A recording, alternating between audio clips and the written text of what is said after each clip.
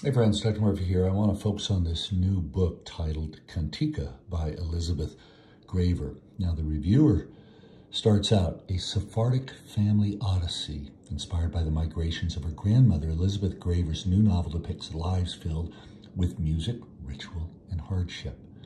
So let's look at uh, Miss Graver's grandmother featured here uh, Rebecca Cohen in Constantinople, now Istanbul, around 1920. The reviewer starts out, of his refugee parents, the novelist Viet Thanh Nguyen once observed that they had experienced the usual dilemma of anyone classified as another.